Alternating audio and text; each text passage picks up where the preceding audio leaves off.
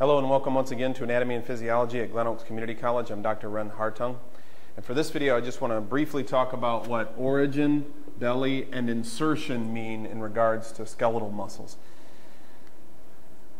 I'm going to try to draw an interesting picture of an arm. This is supposed to be the humerus bone, and then the radius and ulna are down here, and the person's hand.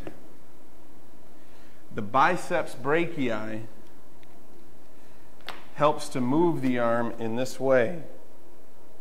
It flexes the arm. Every, every, or at least most skeletal muscles have um, a limb that they're moving in some way. And those muscles also cross a joint. So in this case, the biceps brachii is crossing the elbow joint and connecting to the lower arm and doing this kind of movement the origin of the muscle is the part of the muscle that does not move when the movement is being performed. So for the biceps brachii, the origin is up here on the humerus, towards the top of the humerus.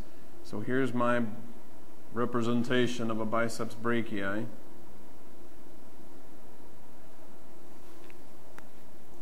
A little overly dramatic, but that'll work.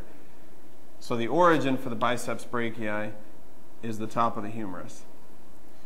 The insertion for the biceps brachii, the insertion for any of the skeletal muscles as described, is onto the part of the body that's moving. So for the biceps brachii, it's going to insert onto the forearm to the radius and the ulna and it's going to, um, in this case, you can tell physically where it's inserting. It's down here towards the medial end of the radius and ulna. So the insertion is there. And then the belly, to me, that's the easiest one. It's the thickest part of the muscle. So I'll wrap a little circle around that part of the muscle. So origin of a muscle, belly of a muscle, and insertion of the muscle. And I've given you the specifics for the bicep at least, for the biceps brachii.